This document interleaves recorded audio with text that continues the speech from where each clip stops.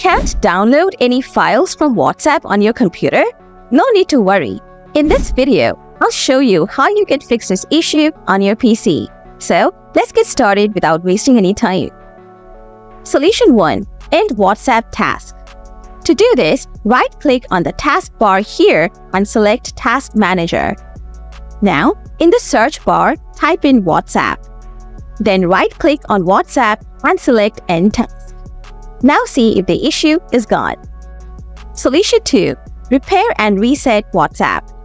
To do this, first open Settings. Then click on Apps from the left side menu. After that, click on Install Apps. Now, find WhatsApp and click the three dot icon next to it. Next, click on Advanced Options.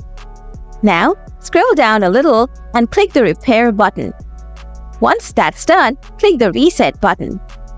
Then click on Reset from here. After that, check if that did the trick.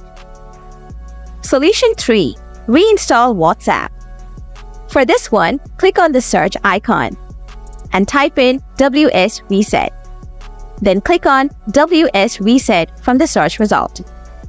Once the Microsoft Store opens up, restart your computer. After your PC turns on, right-click on the Windows icon from here, select Installed Apps.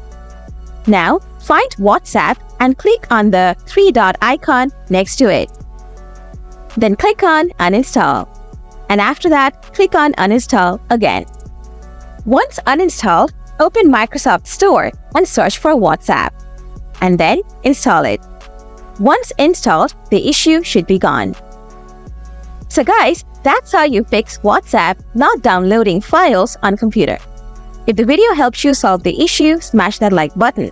Got any questions? Feel free to drop them in the comments below and I'll get back to you real soon. Thanks for watching.